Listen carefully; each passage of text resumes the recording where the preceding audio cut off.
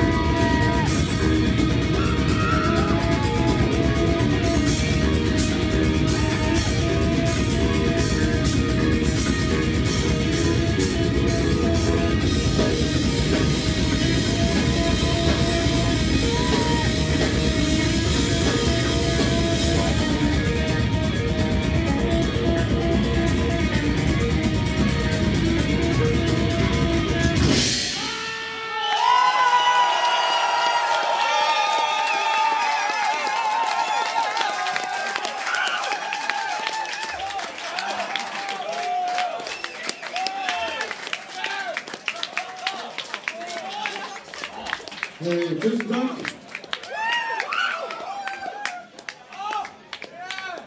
We are first of all, uh, Clive